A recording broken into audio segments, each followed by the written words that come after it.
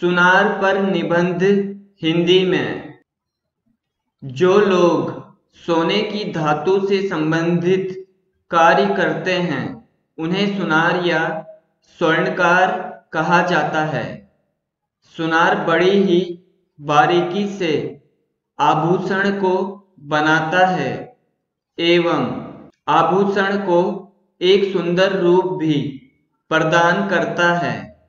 इसके कारण आभूषण पहनने वाला बहुत ही आकर्षित लगता है।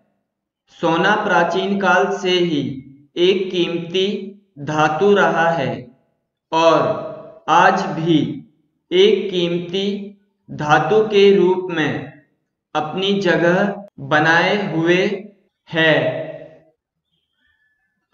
सुनार बड़ी ही बारीकी से आभूषण को बनाता है।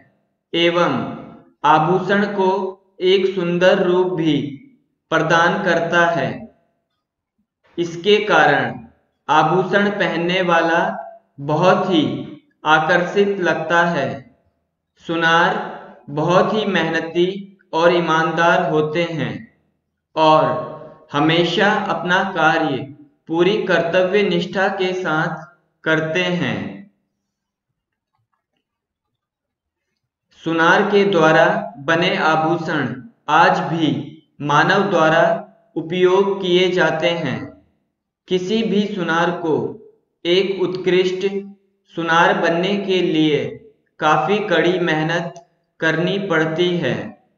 उन्हें टांका लगाना, कास्टिंग, फॉर्जिंग, काटने के कार्य और धातु चमकाने के कार्य में निपुण होना आवश्यक है। एक लेखक के अनुसार, भारत में सुनार जाति के लोगों की संख्या 17 करोड़ के आसपास है।